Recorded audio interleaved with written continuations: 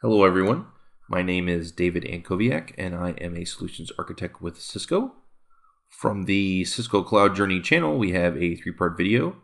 The SAN boot. Soon we'll be making another LUN. This first part will walk us through the zoning process uh, for boot from SAN.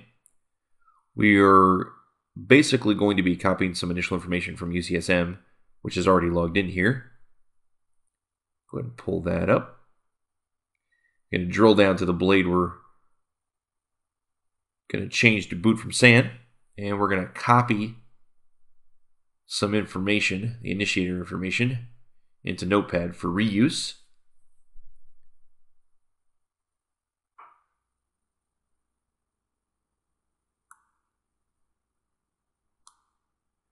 We're also going to go ahead and add the device alias to the end of the line in Notepad there.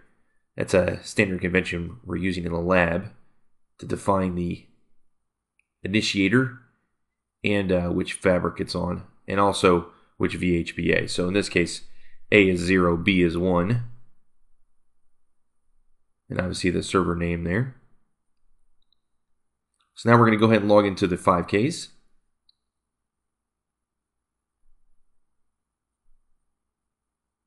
So in this infrastructure, we have two Nexus 5000s, one for each side of the fabric.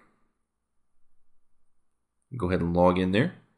Go ahead and launch my second console. Get that up.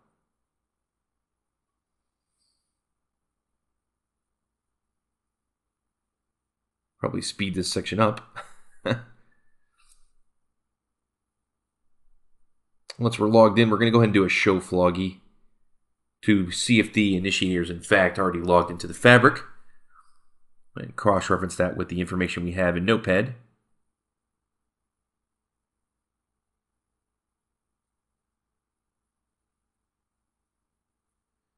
We do see it here. Go ahead and copy that into Notepad just for comparison to make sure we have the right initiator you can see that those numbers do match. And do the same thing on B.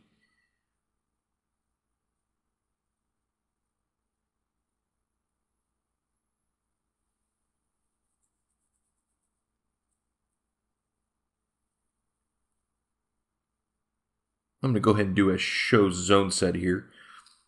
Get some additional basic information from the two fabrics to create my zones in Notepad for easy copy and paste when we're doing the zoning setup.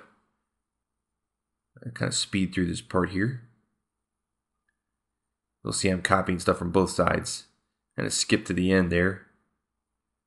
We're going to do a show device alias database on each side of the fabric. Change the config T mode to edit the device alias database.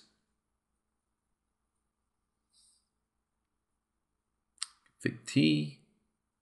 There we go. And now we're going to add the new device alias.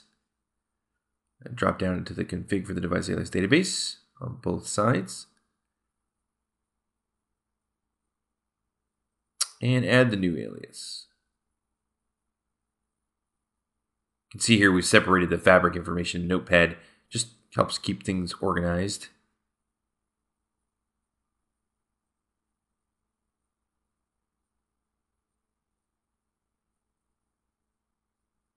There we go.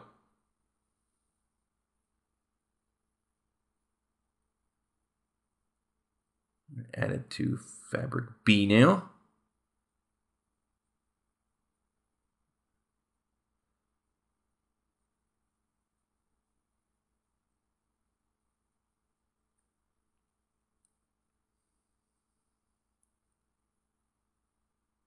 Now, even though we've added them, we still have to run a commit command.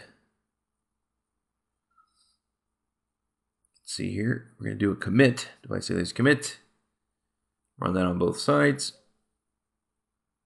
And then we're going to do a show on the database just to ensure that that device alias has indeed been added.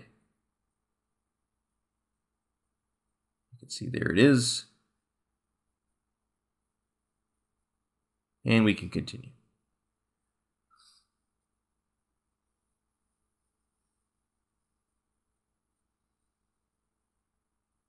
So this one, we're going to go ahead and do a show zone on each side here. This is just so I can get a quick view at the current zones.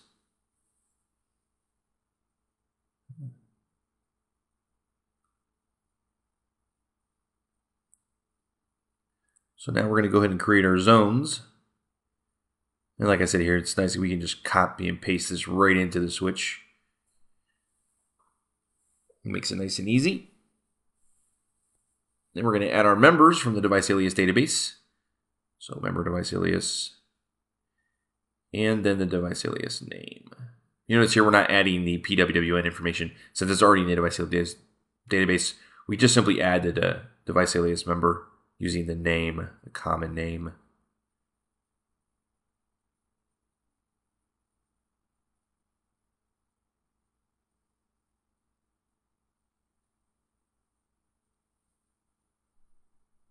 Going to check our zone.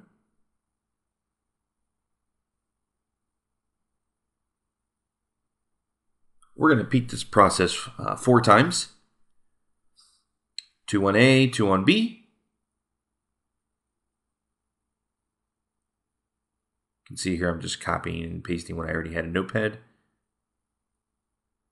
Here I'm just cross-referencing the information that's now created in the switch with what I had in Notepad just to ensure that I have no errors.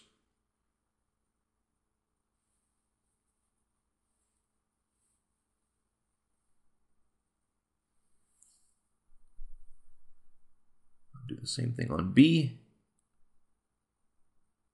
So here again on the B side, we're going to cut and paste the current switch information for the zones into the notepad. Just cross-reference what we initially had, make sure everything's correct.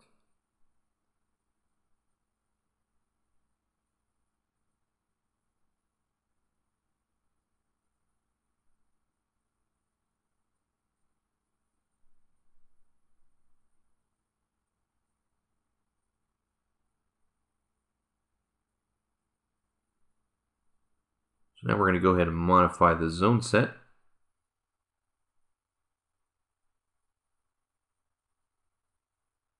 We're going to simply add these zones to the zone set, which is very similar to the device alias add with a member command. Same thing with the zones using the member command. And here we just add the zone name. So cut and paste from Notepad comes in handy, no typos. And we're going to repeat this for all four zones that have been created.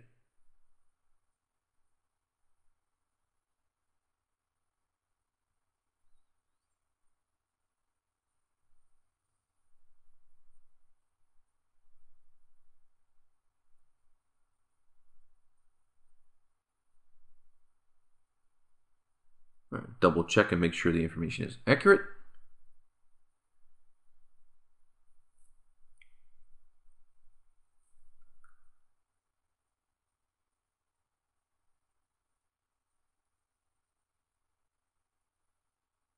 We're going to activate the new zone set.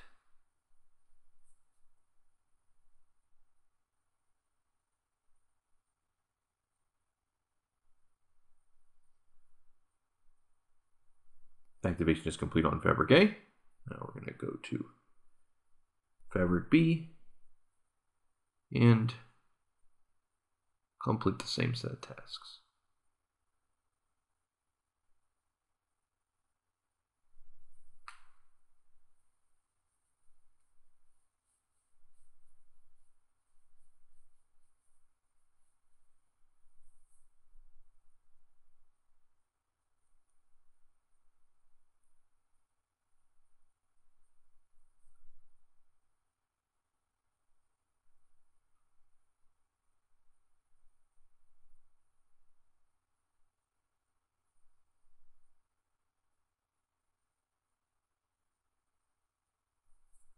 Verify the zone set information is correct.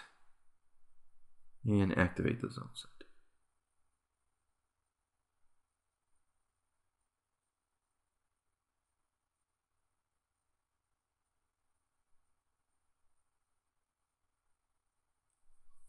As you can see throughout this video, we are using the single initiator target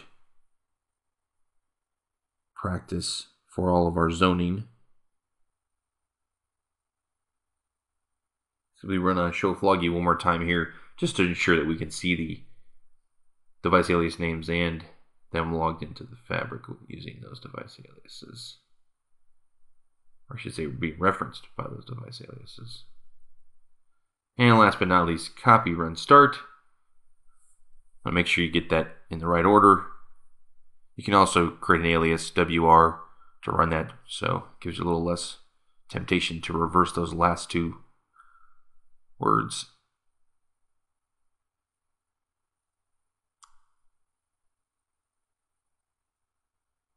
And that completes the zoning portion of this video series.